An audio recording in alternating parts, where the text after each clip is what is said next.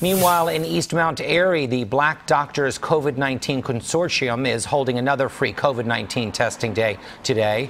This time it's at the Masjidullah Center for Human Excellence. Uh, that's on Limekiln Pike. Uh, organizers plan for the site to be open until about 4 o'clock this afternoon.